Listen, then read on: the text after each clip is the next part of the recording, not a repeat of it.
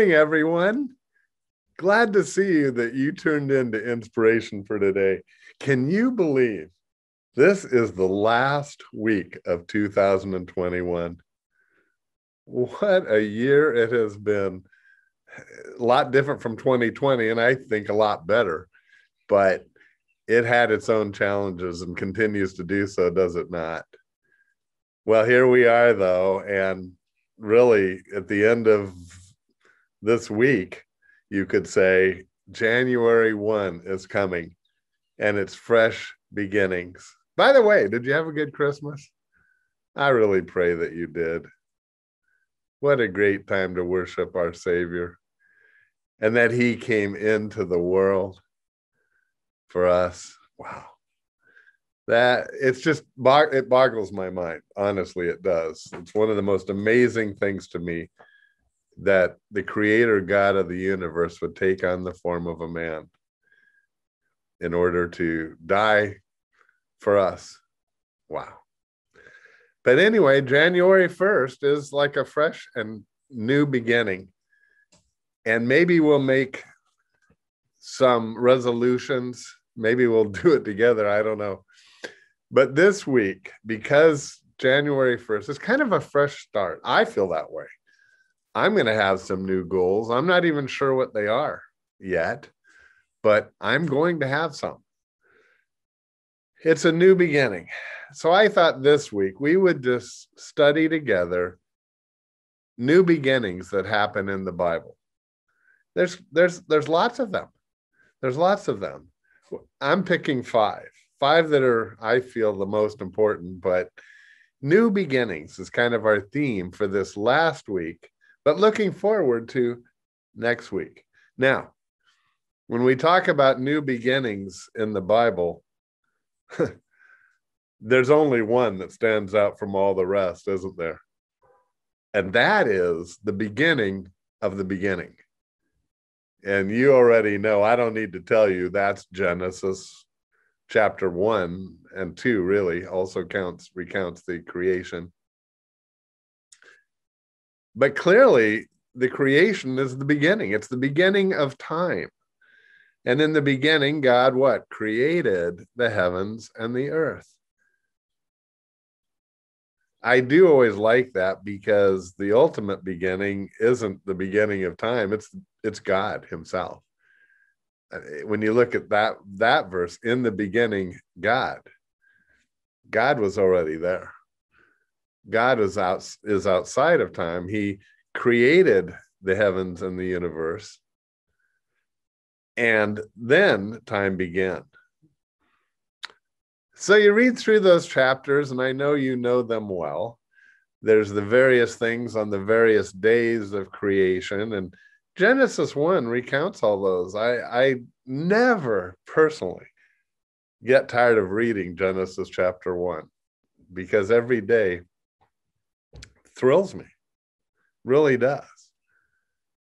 But in all those verses, there's one verse. This will be our verse for the day. It almost should be the our verse for our lifetime. I, we would have no lifetime without this verse. Let me read it for you. It comes in Genesis 1 at verse 27. And it says, so God created mankind in his own image. In the image of God, he created them, male and female.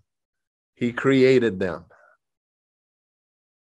The key words in that verse are in the image of God. You and I are created. Those are amazing words. Because why did God create man? Did you ever ask yourself that? Why? Because, you know, he had no necessity of man. When you think about it, what? He was infinitely perfect. He was infinitely beautiful, infinitely glorious, infinitely admirable. infinitely loving, infinitely everything because he's infinite.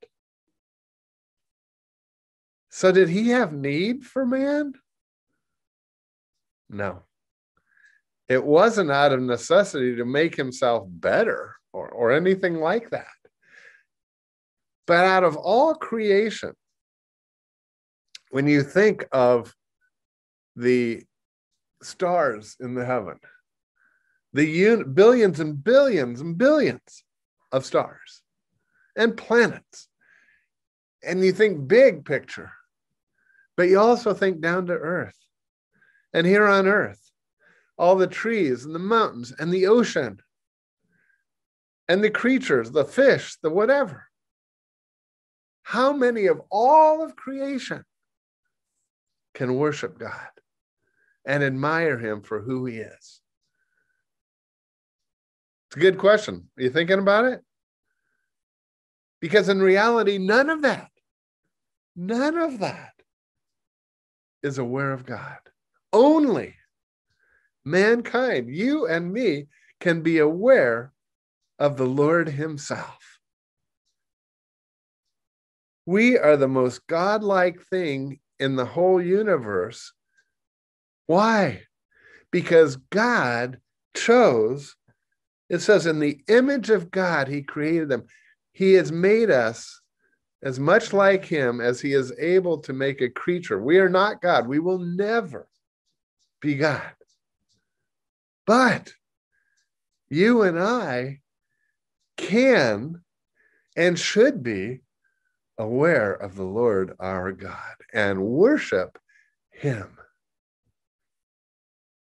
And you know what? When you think of it like that, to me, Genesis 127 is so vitally important. And it brings home to me the fact that God created us so that we can worship Him as His family, as His love has been cast out down to us.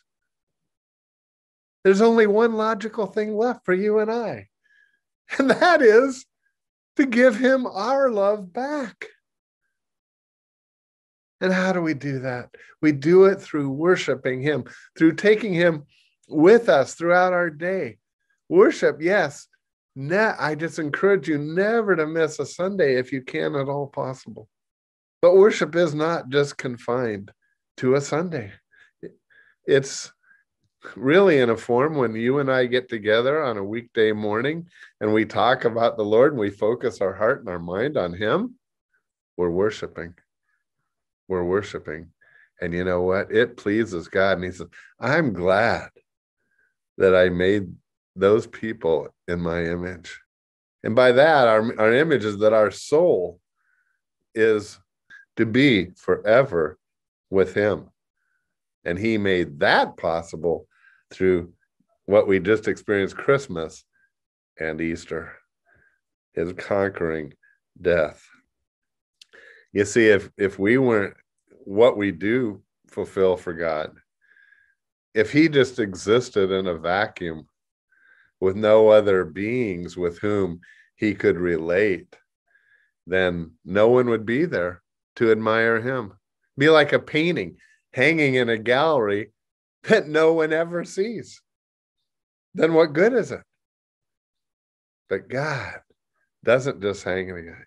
He has how many millions and well it, right now over 2 billion followers throughout the world of which you and i are a few and i am so happy for that well the rest of this week we're going to continue to look at new beginnings i pray that this one made you think a little bit about things and how important worship is because we're created in god's image and he gave us that start.